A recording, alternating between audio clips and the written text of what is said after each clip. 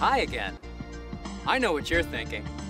You just saw that the game plan was the number one movie a few weeks ago, and now you want to make a football movie. Well, fortunately, I've already begun working on just such a project.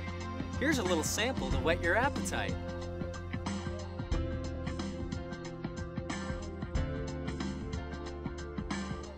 Star quarterback Bryce Armstrong looks left. No one's open. He looks right and prepares to pass to wideout Sam Sperling. Wham! Before he can complete the pass, he's slammed to the ground by a growling defensive tackle. His center, Chet Perlson, approaches Bryce.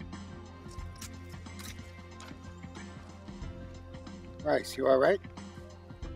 Bryce mumbles something incomprehensible. Chet shakes his head. Damn it.